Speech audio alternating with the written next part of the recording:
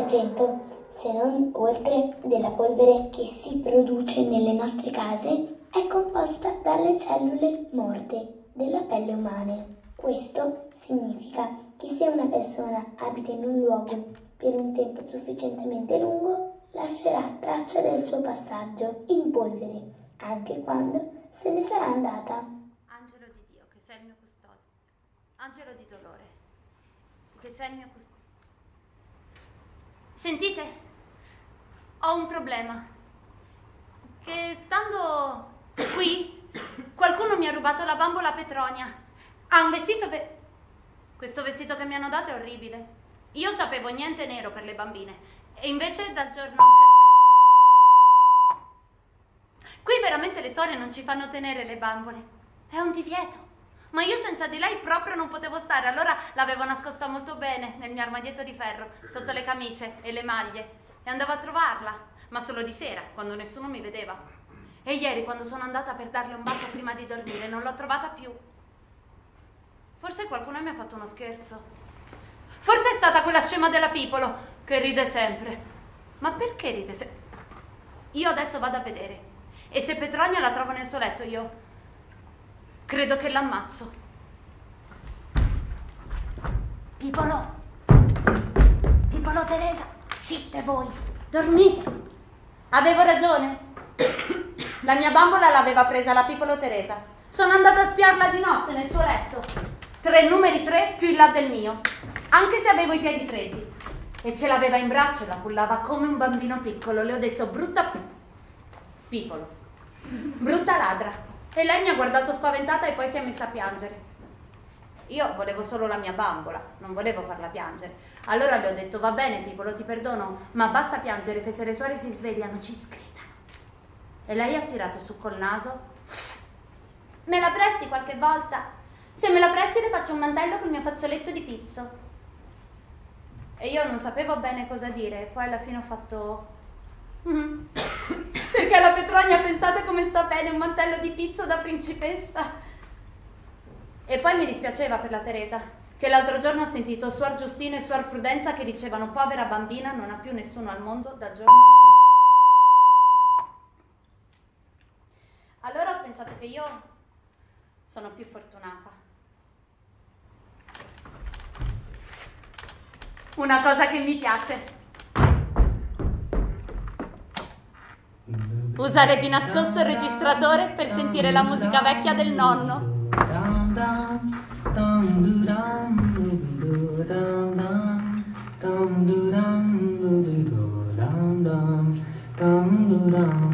Una cosa che non mi piace invece è che quando usciamo dobbiamo stare tutte in fila per due.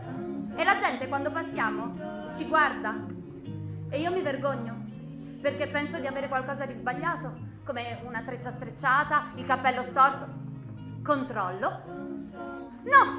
E allora perché ci guardano tanto? Siamo andate tutte a Sant'Anastasia per la messa e come al solito tutti si girano a guardarci.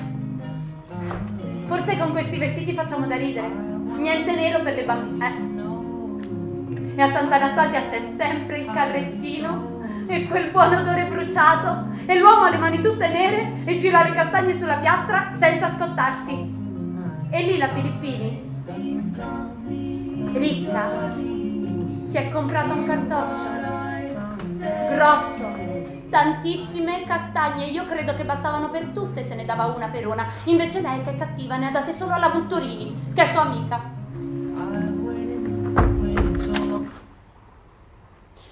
Quando io sono ricca non mi comporto così. Quando sono ricca io faccio regali a tutti, ma proprio tutti. Anzi no, alla Filippini e alla Butturini no, che non ne hanno bisogno. Quando io sono ricca faccio venire un maestro a casa, come le bambine antiche. Eh, tanto se sono ricca lo posso pagare. Sì, così mi insegna tutto ma proprio tutto. Così non sto più qui.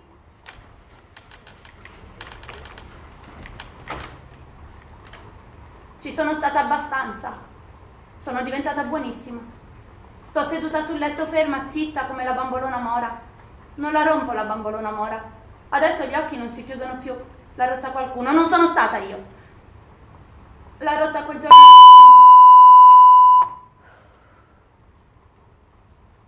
Il giorno della polvere. Perché non pensate che qui sto bene solo perché non piango quasi più. Suor Umile ha detto che se si piange si fa dispiacere a Gesù. E allora lascio stare. Perché Gesù ha già la faccia di uno che sta male, l'ha attaccato sulla croce. Però ogni tanto, pochissimo, piango. Di nascosto, nel cuscino, che non mi vede nessuno, sono sicura. La bambina verrà su male. Le fai fare tutto quello che vuole. La bambina ti chiamava tua nonna. Come se anche solo pronunciare il tuo nome fosse segno di debolezza. Chissà cosa le avevano fatto da piccola per farla diventare così. Se almeno ti avessero lasciata con tuo nonno. Certe volte le suore ci portano in montagna, che è una cosa che mi piace, insieme con la guida. Allora prendiamo un trenino a cremagliera. Non so cosa vuol dire, ma mi piace.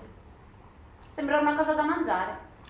L'ultima volta la guida ha detto alle bambine piacciono i fiori, vero? E noi tutte sì, sì, sì, sì, sì. E poi ha detto allora vi porto io in un posto speciale e poi ha fatto così.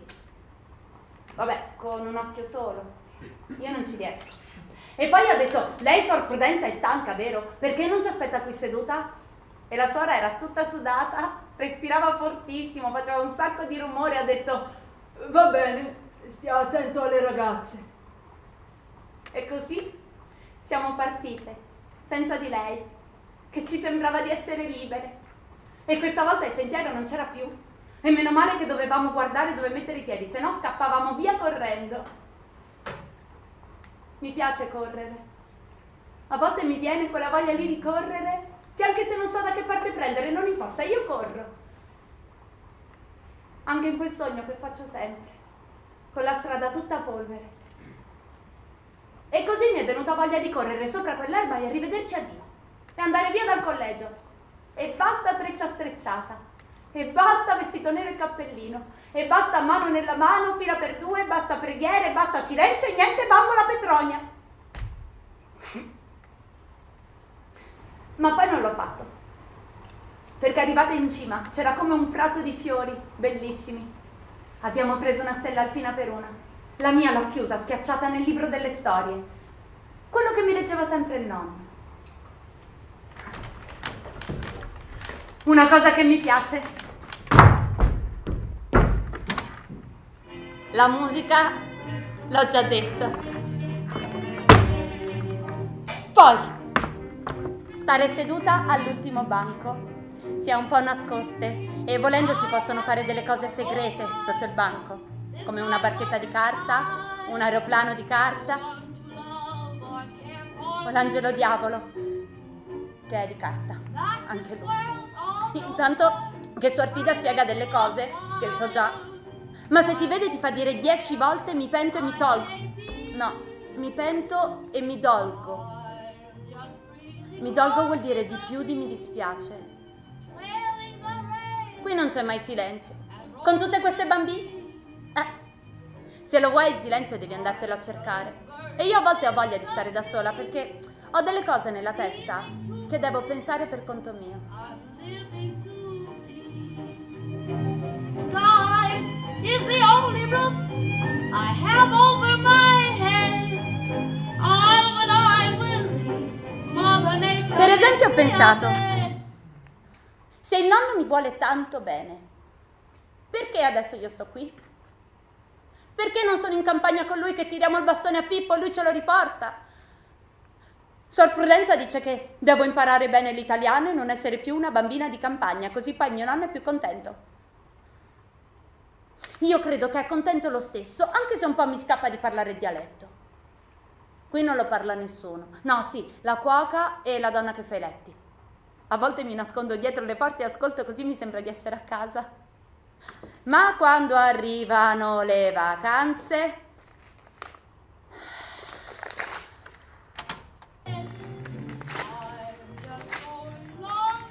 E poi qui nessuno mi racconta mai una storia come fa il nonno. Non hanno tanto tempo da perdere qui. Anzi, qualcuna sì la raccontano.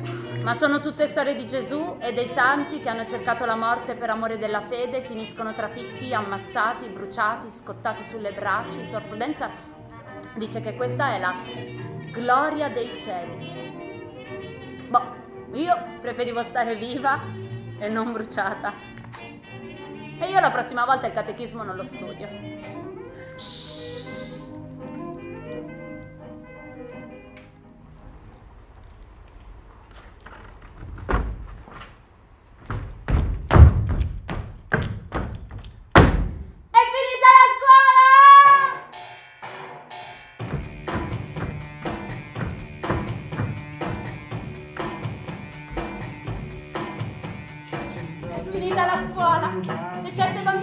Andate via tutte subito.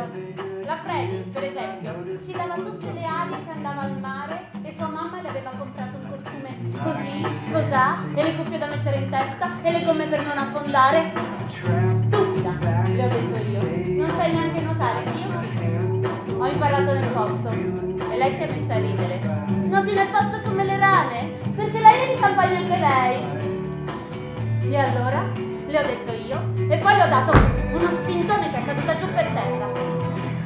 E le sta bene. E quando è arrivata Suor Candida, nessunissima ha fatto la spia.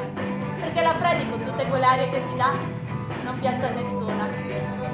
E lei non ha avuto il coraggio di dire che ero stata io. Tanto ormai fino a ottobre dispetti non me ne fa più. Comunque poi è partita, eh.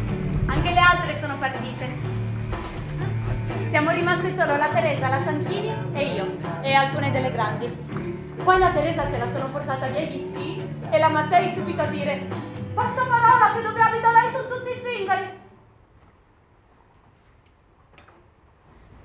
È vero che dove abita lei sono tutti zingari? È vero che gli zingari si portano via le bambine? Ma pensa se quegli zii della Teresa sono zingari per davvero e se la portano in giro sulla carretta e le fanno fare la pagliaccia nelle strade. Beh. E poi le fanno suonare il violino. Figurarsi lei che non sa neanche le note come si chiamano. Che solo Olimpia poverina diceva sempre che era la sua disperazione.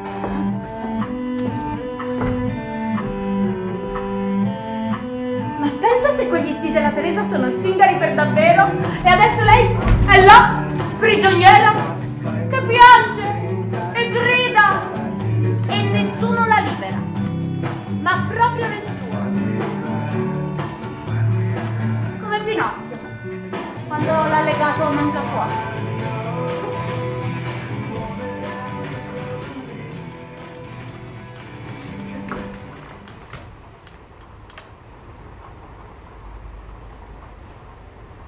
Avevo fatto un burattino un giorno, con gli avanzi di stoffa e i legnetti. Un giorno che fuori pioveva, pioveva. Credo che era tre giorni prima che... Era uno di quei burattini con la faccia mascherata, che ci infili dentro la mano come in un guanto e lo fai muovere.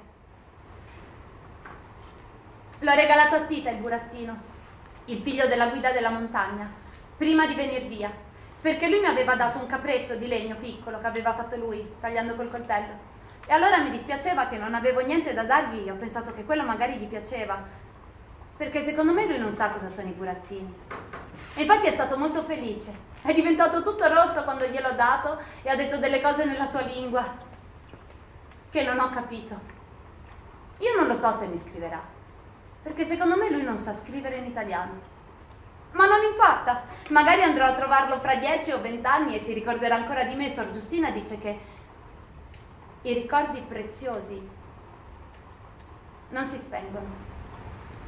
Ecco, io ho una lampadina come un ricordo di Tita e non la spengo. Il nonno ha detto che viene a prendermi e il resto dell'estate sto a casa con lui e sono felicissima.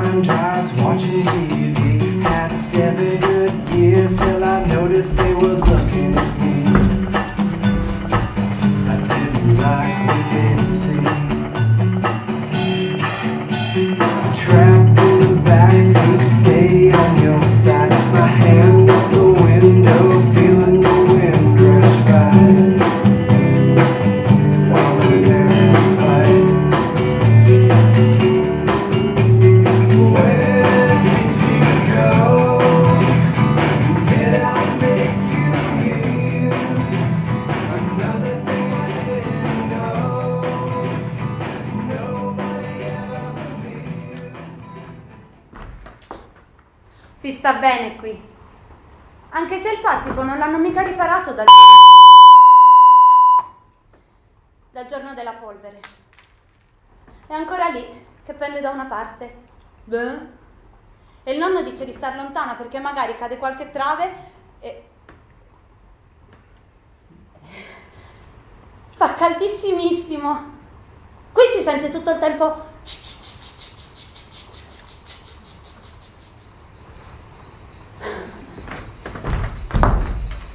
È bravo il nonno.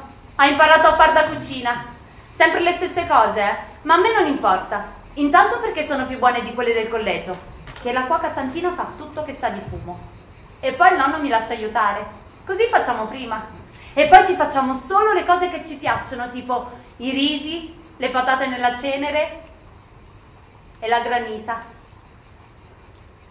Tanta granita. Si fa così. Il nonno prende un grande bicchiere e ci scava dentro il ghiaccio. E scava scava finché non viene fine fine. E poi... Oh, tada! Ci versa dentro il rosso.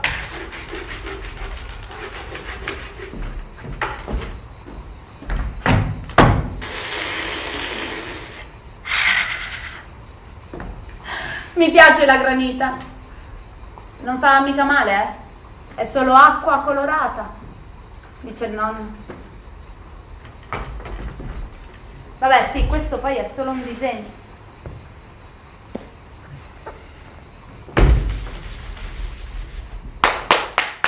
Ci sono anche le mie sorelle qui, Silvana e Edda. Loro la granita non la bevono. La Silvana. Sono come un'attrice del cinema, eh, tutta dipinta. No, non mi baciare, oddio, mi sciupi il trucco. Ho le scarpe alte così. Ha le scarpe alte così, coi tacchi, rosse.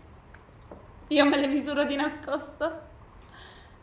E poi c'è anche Luciano, che è il suo fidanzato, che è brutto come la sua macchina. E sa tutto di fumo, io non so come fa a baciarlo. E mi tira ancora sulle ginocchia, non sono più piccola. E mi accarezza le gambe, ma forte. Allora io corro e scappo via. Mi piace correre. A volte mi viene quella voglia di ricorrere, che anche se non so da che parte prendere, non importa, io corro. Ah, ehm, la Edda. La Edda è stata qui solo due giorni. È andata in colonia a tenere i bambini. Il nonno fa finta di essere arrabbiato perché dice che ce l'aveva qui, la bambina da tenere. Dalla faccia non è vero invece. È contento perché siamo noi due da soli. Anche se Suor Giustina ci ha dato di compito mille poesie da studiare a memoria. Quando sta con te il nonno torna giovane. Anche Pippo sembra un altro. Tu non hai paura del suo occhio malato e gli vuoi bene anche se cammina un po' storto. E lui lo sa, per via di quella sapienza che hanno i cani, come i bambini, che si fidano solo di certe persone e di altre no. 10 agosto di Giovanni Pascoli. San Lorenzo, io lo so, perché tanto di stelle per l'aria tranquilla, arde e cade, perché sì gran pianto, nel concavo cielo sfavilla. Ritornava una rondine al tetto, l'uccisero, cadde tra spine, no, tra spini.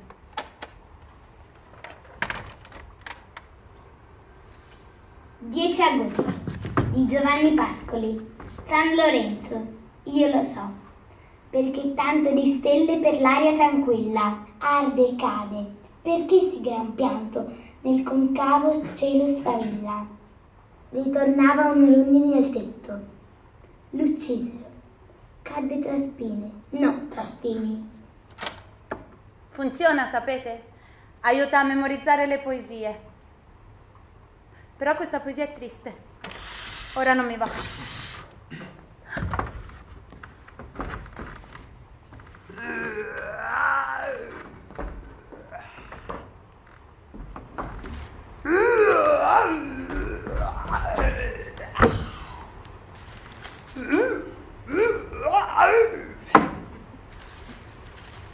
E io adesso vi mangio tutti.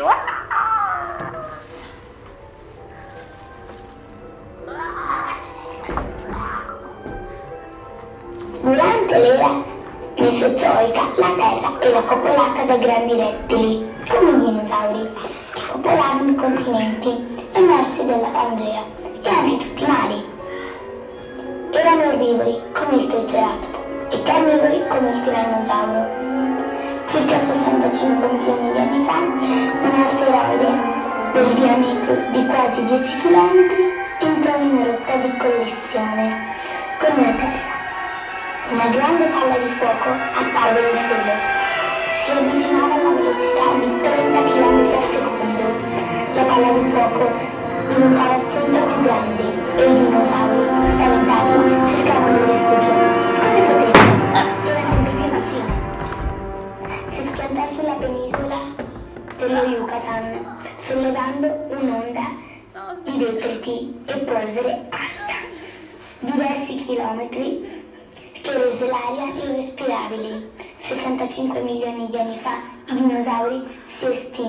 cioè morirono tutti nel giorno della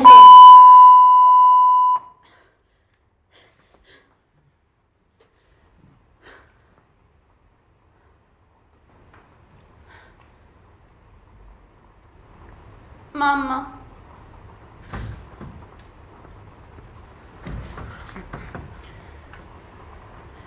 La Silvana e Luciano si sono sposati e la damigella l'ho fatta io.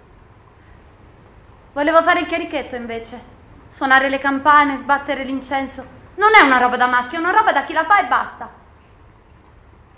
Ho dato anche un pugno al chierichetto. Dopo la messa, lui mi ha fatto le linguacce tutto il tempo. Comunque io non lo so se da grande mi sposo. Perché quando ci si sposa si va via di casa.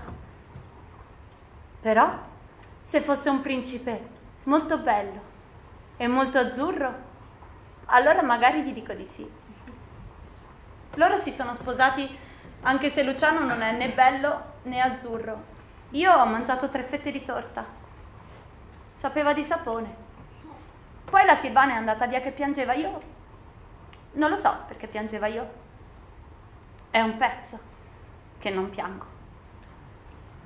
Comunque sono contenta che va a stare via. Lei e quel brutto di Luciano, così non mi sgrida più. La Edda è meglio. Sono stata una mamma cattiva. A volte penso di sì. Tua nonna diceva che nessuno è responsabile della propria indole. Gli è stata data così e se la tiene. E non c'è colpa in quello che fa se agisce in buona fede. La buona fede, insomma, ottiene sempre il perdono. Sciocchezze. Stavo andando in bicicletta e c'era un sasso grosso e ci sono andata sopra e la bici è caduta e sono caduta anch'io. Poi un signore, quando ha visto che avevo tutto un ginocchio col sangue, tutta polvere dappertutto, ha detto ci penso io e ha spostato la bici lì sull'erba, sul bordo e poi mi ha preso in braccio e mi ha messo anche a me seduta proprio sopra quell'erba e ha bagnato il suo fazzoletto, un fazzoletto grandissimo. Lo ha bagnato nell'acqua e mi ha lavato il ginocchio. Questo qui. Bruciava un po', ma io non gliel'ho detto per non spaventarlo. Poi lui ha detto, adesso passa tutto, succedono gli incidenti ai grandi piloti. E io mi sono messa a ridere, gli ho detto, non sono un pilota, sono una bambina. E lui ha detto, lo so che sei una bambina e anche che bambina sei. Poi è stato un po' zitto. Credo perché doveva guardarmi meglio il ginocchio. Allora io gli ho detto, non sarei mica un dottore, vero? E lui ha detto, no, non sono un dottore, sono Ettore. E io gli ho detto che ero io e lui ha detto, sono onorato di conoscerla, come si dice alle signorine. E io gli ho detto, non sono neanche una signorina, lo vuoi capire che sono una bambina e basta? Poi una donna, tutta vestita di bianco, un po' vecchia, con la faccia rugosa, i capelli tirati su e degli occhiali, ma piccoli, che stavano come appoggiati sul naso senza le gambette, ha detto, si può sapere cosa fai, Ettore? E lui ha detto, mamma, sto giocando, non lo vedi? E lei è andata via. E io non lo so come si fa ad avere una mamma così brutta. E meno male che non mi è venuta vicino, se no dovevo dire tutte le cose che dicono le brave bambine, rispondere alle domande, quelle cose lì e non ne avevo proprio voglia. Buongiorno, buonasera, come sta quest'oggi? Molto bene, grazie. Buongiorno, buonasera, di chi sei figlia? Io Molto bene, e grazie. Ettore ci conoscevamo fin da bambini. Una sera, di nascosto, ci siamo stesi sul prato, a pancia in su.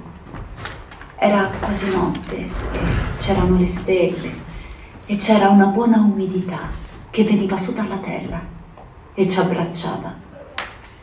E siamo stati zitti, insieme, zitti e vicini. Poi col tempo ci si sono messe altre cose fra me e lui a far difficoltà. Ma ora vi vedo, tutti e due che giocate e vi fate compagnia. Ettore è un dono per i bambini. E immagino come sarebbe stata la vita se lui fosse stato tuo padre. Perché la luce di quella sera tu l'hai presa tutta. Sono andata alla sagra quest'anno, per la prima volta. Mi ci ha portato Ettore. Ha chiesto il permesso al nonno. Alla sagra non facevo che guardare. Guardavo il camion delle bambolone. Adesso lo so da dove viene la bambolona mora. Viene proprio da lì. E un signore con dei baffi lunghi, ma proprio strani, diceva... Venite avanti, gente, che potete vincerne una, che hanno i vestiti diversi, di tutti i colori, e anche i capelli un po' gialli, un po' neri, le facce invece no, quelle sono tutte ugualissime. E se buttate giù tre barattoli, potete vincerne una. Come si chiama il tuo papà, bambina? E io ho fatto no, non è il mio papà, è Ettore. E lui è diventato tutto rosso e ha detto, vogliamo provare? E io ho fatto... Sì, solo con la testa, senza la voce. Così magari capiva no e non spendeva soldi. Era anche meglio perché magari il nonno mi sgridava se Ettore spendeva soldi per me. Invece lui ha capito giusto, cioè sì. E abbiamo giocato. Cinque palline, signori, cinque palline, potete vincere una bambolona. Come la volete?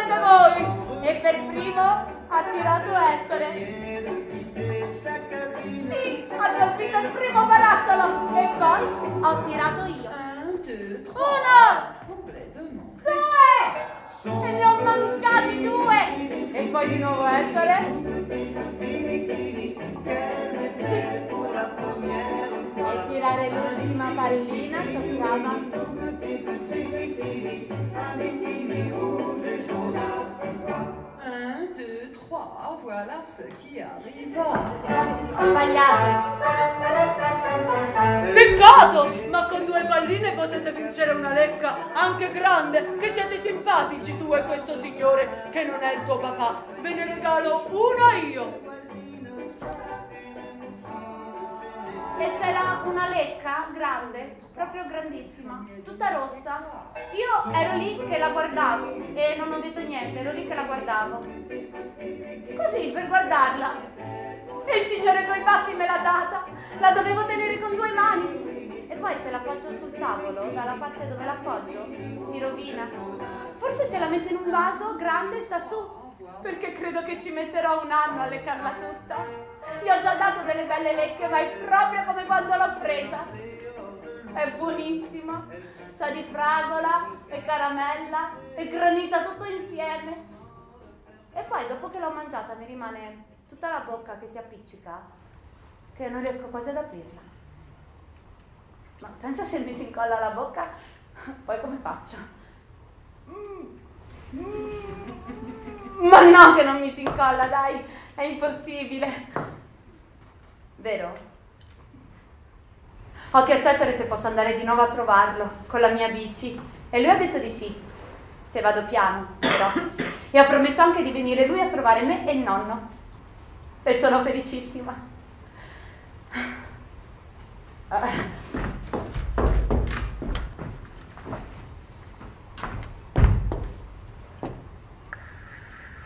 È tornata la Edda? Ma io credo che è ammalata. Perché non parla mai. È pallida. E ogni tanto piange per conto suo.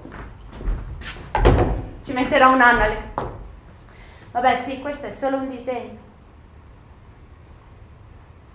La Edda si vede che piange perché le vengono rossi gli orli degli occhi. E se le vado vicino dice, non è niente tesoro, non è niente, e va nella sua stanza. A me dispiace, ma se lei non mi vuole vicina, come faccio a consolarla? Comunque non credo che è ammalata proprio proprio come una malattia normale, perché non ha le macchie e nemmeno gli starnuti o la tosse. Il nonno dice che è innamorata. Ma uno che è innamorato non è sempre felice. Beh, io comunque di cose da fare ne ho, anche senza star dietro la Edda. Per esempio devo badare a Pippo, che ormai dorme tutto il giorno, ma proprio tutto, sotto il vecchio olmo, il suo posto preferito per dormire. Il nonno dice di non svegliarlo, ma io lo sveglio lo stesso. Pippo, Pippo. Non pensavo davvero che potesse succedere. Non a Edda. Dubito che lui la sposi. Abita lontano. Probabilmente ha già un'altra vita. Mi dispiace tanto per quello che le toccherà sopportare con la gente. Prima di tutti sua sorella. E poi le zie. Tutta colpa di sua madre, diranno. Pippo. La Edda aspetta un bambino. Per quello piangeva. Me l'ha detto la Silvana. Me l'ha detto male. Ma così male che la prima cosa che faccio quando la vedo di nuovo è calciarla. Anche se le brave bambine non danno i calci. E poi ha detto una cosa che non capisco come la vergogna della famiglia. E poi ha detto una cosa che invece capisco, che lei non ha più una sorella. Vuol dire che non vuole più vederla. A me un po' dispiace. un po' no. Ma io pensavo che aspettare un bambino era una cosa bella perché la Silvana non vuole più vederla, la Edda. Invece di essere contenta che poi può fare la zia. Anche io divento una zia.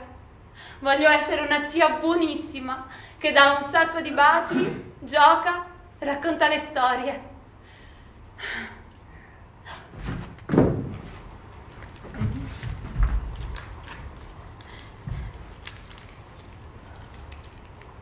Per prima cosa ho pensato che posso fargli delle cose ricamate al bambino.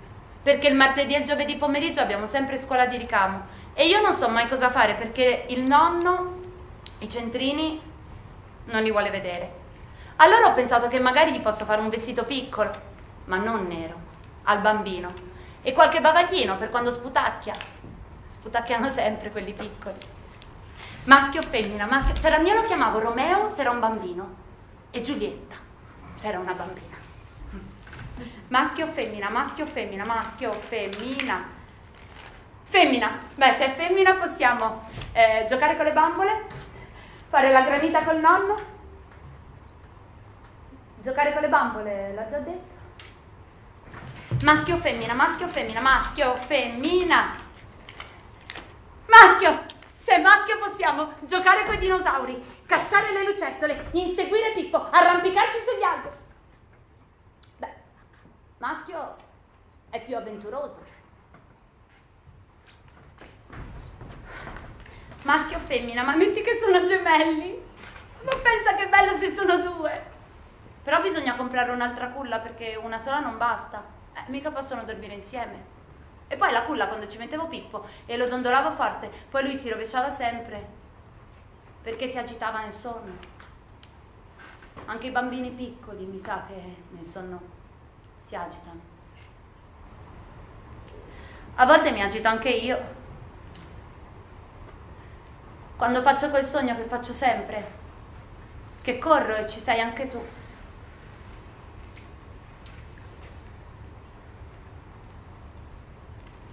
Tu cammini per la strada tutta polvere e io non riesco a fermarti e mi metto a piangere.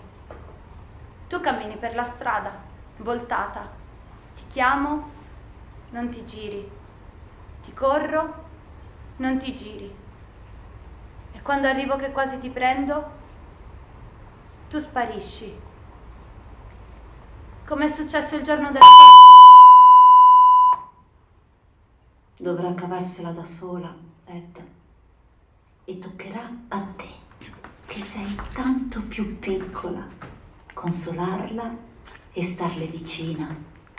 Dovrai anche darle una mano dopo, perché non credo che con tutta la buona volontà tuo nonno possa essere utile in un caso come questo. È morto il cane Pippo. Me l'ha detto il nonno con la faccia di uno che deve dire una cosa brutta. La stessa faccia che aveva quando mi ha detto che la Silvana, per sbaglio, mi aveva rotto la petronia. E io ho detto, si è rirotta la petronia? Dopo l'avevamo rincollata, sembrava come nuova. E lui ha detto, no bambina, questa volta si è rotto Pippo. Suor Costante dice che c'è un paradiso per gli animali, una specie di valle appena prima del paradiso dove stanno tutti gli animali buoni e anche quelli cattivi, tipo il lupo, che alla fine si è pentito. Il nonno ha seppellito Pippo sotto l'olmo, il suo posto preferito, e io ho scritto il suo nome sul legno dell'albero, così tutti sanno che quello è l'albero di Pippo.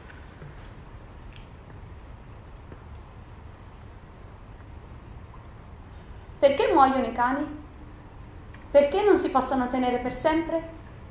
E anche sempre uguali identici, che non diventano vecchi. Io non voglio diventare vecchia. A un certo punto voglio fermarmi. E non voglio neanche restare senza il mio cane.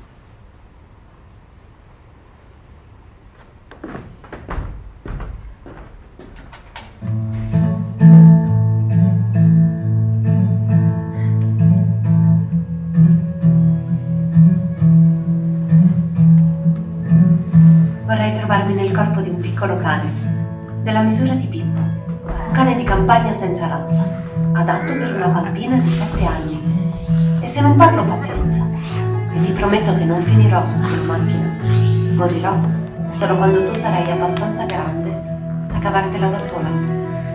Questa volta. È venuto a trovarci Ettore come mi aveva promesso. L'ho sentito da in fondo alle scale che parlava con la Edda e credo che le stava chiedendo di sposarlo.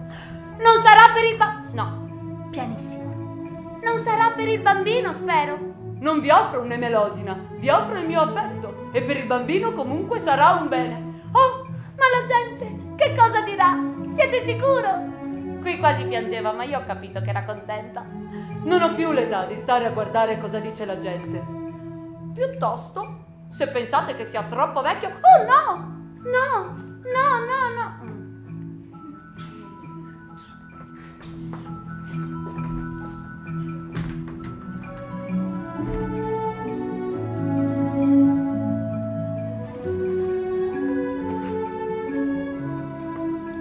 La Edda ha una pancia grandissima. Si vede quando dentro si muove e anche si sente che dà dei colpi. Leda mi ha lasciato appoggiare una mano e io l'ho sentito. Forse era una mano, forse un pezzo di testa, non lo so, perché dopo lui è scappato via correndo. Perché dice Leda che lui lì dentro continua a correre. Eh, si vede che correre piace anche a lui. E dopo Ettore mi ha regalato un cane, ma non uno di quei cagnolotti campagnoli tutti uguali, no, questo è un cane vero, un cane lupo, cucciolo. È bellissimo. Cammina tutto che dondola e ha la lingua sempre fuori da una parte che pentola. Eh? E io ho chiesto a Ettore se posso chiamarlo Pippo, come Pippo. E lui si è messo a ridere. E niente, ha detto che non gli sembra proprio proprio un nome da cane lupo, però se a me piace proprio tanto, pazienza.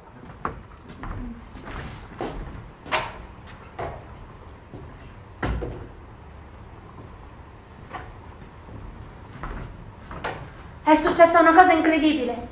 La Filippini mi ha invitato a casa sua. Ha detto che se volevo potevo andare da lei a fare i compiti e poi restare lì per la merenda e poi mi accompagnavo indietro il suo autista. Andata.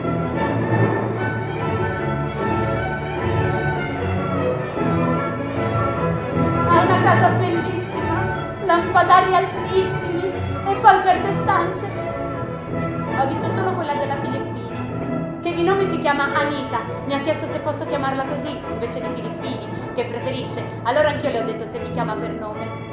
Abbiamo giocato con le bambole, ne ha di proprio belle. Una per esempio che le ha portato suo papà, che sta in un'altra città, che ha la faccia tutta di stoffina, la bocca come un cuore, un vestitino scozzese, la borsetta e il cappellino. Non è tanto antipatica la Filippina. Anita, non è come pensavo. Cancello tutto. Per esempio, ho dovuto insegnarle io come si cambiano i bambolotti piccoli quando si fanno la pipì addosso, che lei non era capace. E ha un gioco con tutte le dame e tutti gli scacchi, tutto di legno, e lei non era mica capace. Perché non ho nessuno qui che sta con me e gioca con me, ha detto.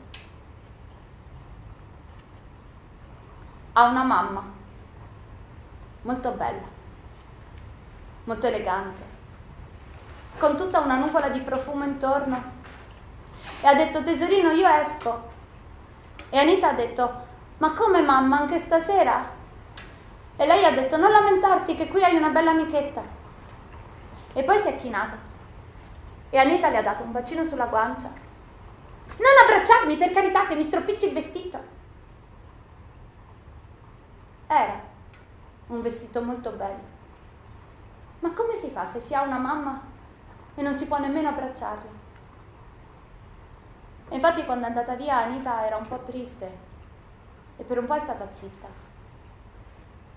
E poi ha detto, a volte mi sembra di non avercela nemmeno la mamma.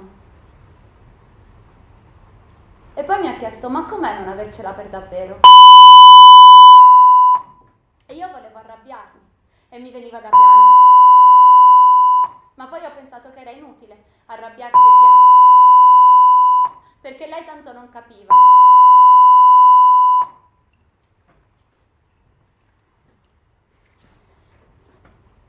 E niente autista. A casa sono tornata correndo, come quel sogno che faccio sempre, che corro e ci sei anche tu. Tu cammini per la strada tutta polvere e io non riesco a fermarti e mi metto a piangere. Tu cammini per la strada voltata, ti chiamo, non ti giri, ti corro, non ti giri. E quando arrivo che quasi ti prendo, tu sparisci. Perché io lo so cosa è successo il giorno della porta. Smettila!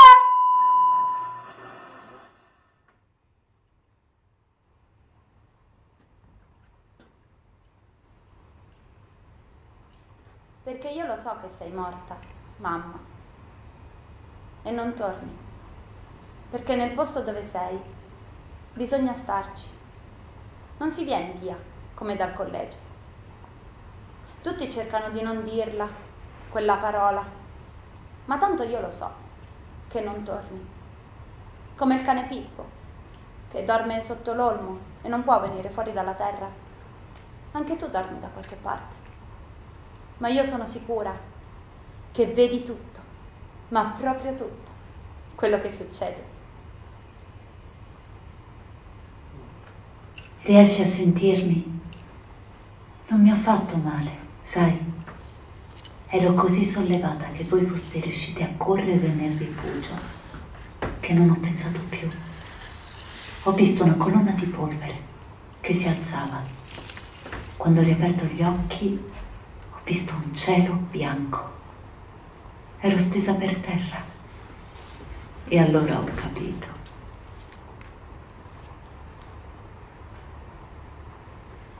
Sono la tua bambina, ma sono anche la loro bambina. La bambina del nonno, di Ettore, di Edda, della Silvana anche un po'. E gli voglio bene a tutti, che sono così buoni con me perché pensano che sono triste, che mi devono consolare, che non ci sei, infatti è vero.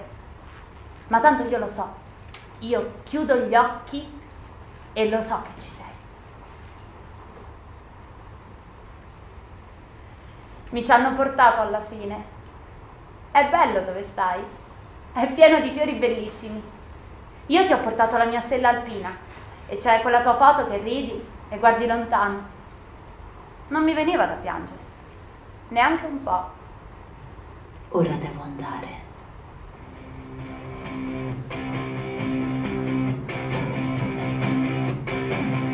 Il bambino nasce fra poco e se è una bambina la chiamano come te e come me.